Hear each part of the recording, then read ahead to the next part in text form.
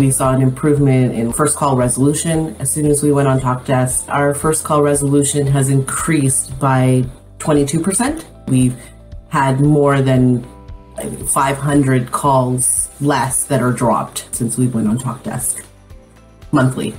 Talkdesk is getting voice authentication, so they use biometrics, so we're able to implement that, and that should shave about two minutes off each call. And so we're naturally going to get cost savings there for an HT reduction.